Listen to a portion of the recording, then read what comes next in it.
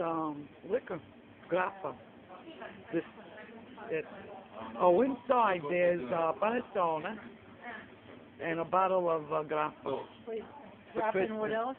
Uh, the, the panettone. You know what panettone is? No. Uh-huh.